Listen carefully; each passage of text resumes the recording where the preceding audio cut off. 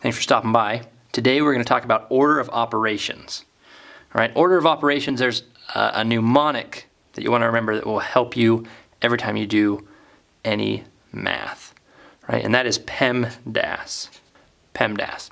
And what that stands for is parentheses, exponents, multiplication, division, addition, and subtraction. Okay, and so this is the order that you will go in when you approach a math problem. You'll do what's in the parentheses first, then the exponents, then multiplication, then division, then addition, then subtraction. All right, this is the order of operations. So let's look at an example.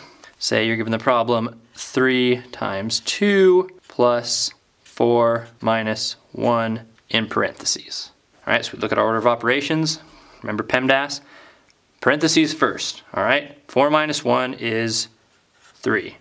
And over here you still have 3 times 2 plus 3. What do we do next? Multiplication. 3 times 2 is 6 plus 3. Now all we have left is addition equals 9. Okay, let's uh, use that same problem, make it a little more complicated. We'll say 3 times 2 plus 4 minus 1 squared. All right, so now we have an exponent in there, but we still do what's in the parentheses first. So this will still come out to 3. So we'll have 3 times 2 plus, from the parentheses, 4 minus 1 is 3, squared. So we keep that exponent after we do what's in the parentheses. Now we go to our exponent, that's what's next, parentheses and exponents. 3 times 2 plus 3 squared, which is 9.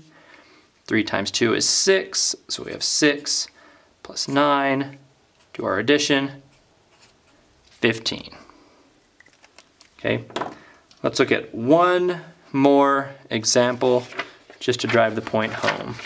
Remember PEMDAS, write this on all your tests, remember it every time you do math. Okay, and this time we're going to say 3 times 2 over 6 in parentheses plus 4 minus 1 in parentheses squared.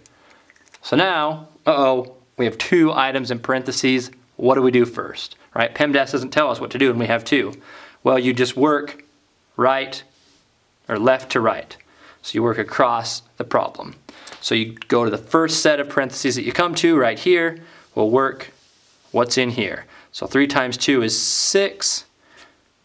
So we do a multiplication before division. This is still in parentheses. So now we have our division, which 6 over 6 is 1. So that becomes 1, right? And then we still have plus 4 minus 1 squared. Okay? So we got to finish this off. 4 minus 1 is 3. We keep the squared, so we have 1 plus 3 squared and 3 squared is 9. So we have 1 plus 9. Hopefully you can see this, which comes out to 10. Okay, so we didn't cover all types of problems, and they can get very complicated with order of operations. This is just the basic uh, introduction. Just remember PEMDAS and then work through it that way. Parentheses, exponents, multiplication, division, addition, then subtraction, and work left to right through the problem. If you have any additional questions, please throw them in the comments. I would love to help. Um, let me know what you thought of this video, and we'll catch you next time.